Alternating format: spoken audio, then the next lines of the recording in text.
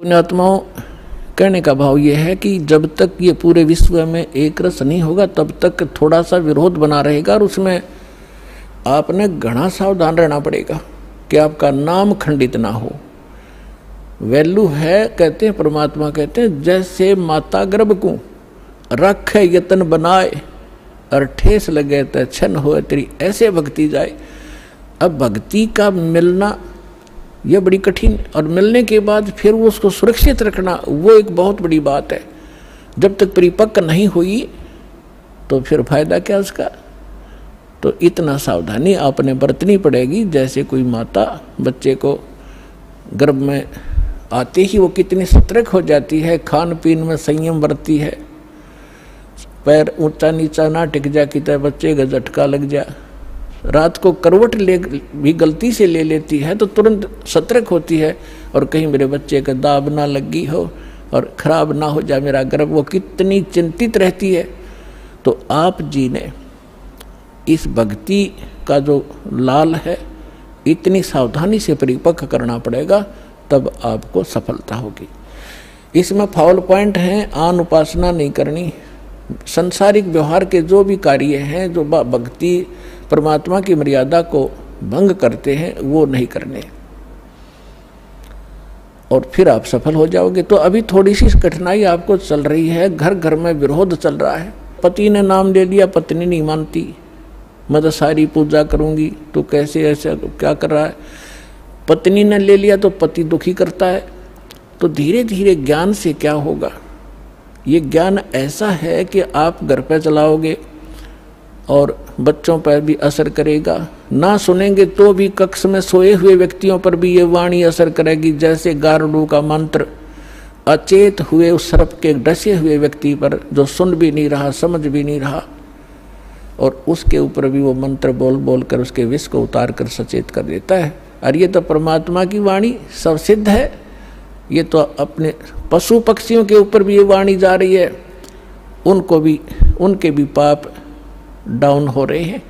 ठीक है, उनके पाप गणे हैं, इसलिए पशु योनि मिली तो वो पाप घटते रहेंगे। जैसे कपड़ा किसी का ज़्यादा मैला है हो गया है, मैल हो गया है तो वो कई बार साबुन लगाने से स्वच्छ होगा, उज्जवल हो जाएगा। और जिसका थोड़ा मैला है, एक दो बार साबुन लगाने से उज्जवल हो जाता है। तो ये साबुन है, परमात्मा का जो ज्ञान है, सत्संग है, वचन है, ये साबुन और जल दोनों का काम करता है। तो धीरे धीरे ये सत्संग जिस घर में चल रहा है, पड़ोसियों तक भी असर होगा आपका। और आपके घर के पशु पक्षियों पर भी इसका प्रभाव पड़ेगा। आपके घर कोई पशु पक्षी भी रह रहा है, उसके ऊपर भी धीरे धीरे उसकी, उसके अंदर ये वाणी का, जो ज्ञान यज्ञ का पुण्य उसमें संग्रहित होगा और कुछ ऐसे पाप हैं जो ज्ञान यज्ञ से ही खत्म होते और उसका विकल्प ही नहीं है। जैसे कपड़े को पहले थोड़ा मैला है तो जल से धो दिया, साफ़ हो गया। ज़्यादा मैला है तो और भी मैल रहा तो साबुन लगाना पड़ा। और फिर भी कोई दाग दबा रह जाता है तो ड्राई क्लीन से साफ़ हो जाता है। तो इसी प्रकार ये सभी क्रियाएँ हमें अपने अंतकरण, अपने जीव के ऊपर, आत्मा के ऊपर जो मैल जमा हो गए, उन सभी पापों का नाश करने के लिए ये सारे ही साधन अपनाने पड़ेंगे। मंत्र के जाप भी करने पड़ेंगे। पाँचों यज्ञ भी आपने करनी पड़ेंगी और तब जा करके आपकी भक्ति सफल होगी।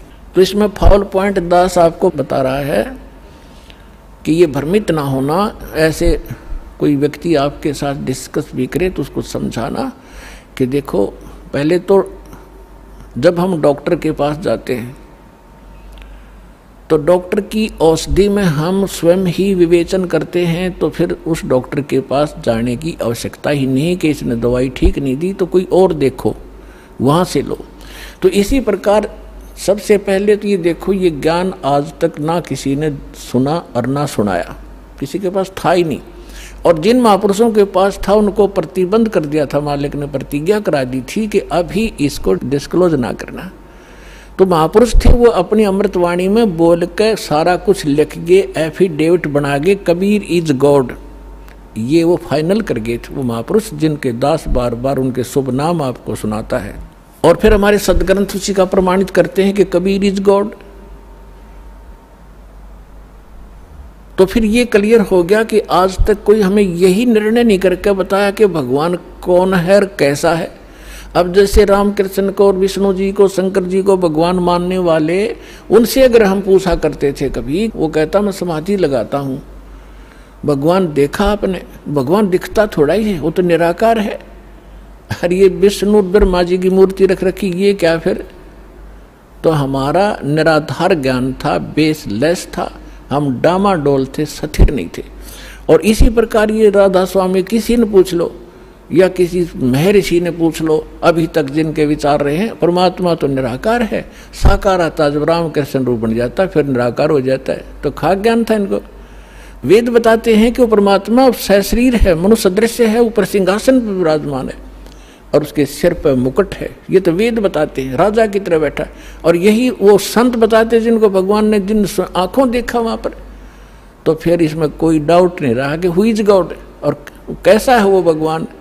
तो ये सारे कंसेप्ट क्लियर इस दास न करे, आज तक किसी ने नहीं किए। तो इसी प्रकार इस साधना पर भी विश्वास करना, किसी से डगमग ना होना, क्योंकि काल ने अपने एजेंट छोड़ रखे हैं। वो अपने कर्म बिगाड़े हैं तो वो भी भगवान के बच्चे, पर भ्रमित है उस काल से प्रेरित है। उनका दुर्भाग्य है कि वो अशुभ काम पर लगे हैं।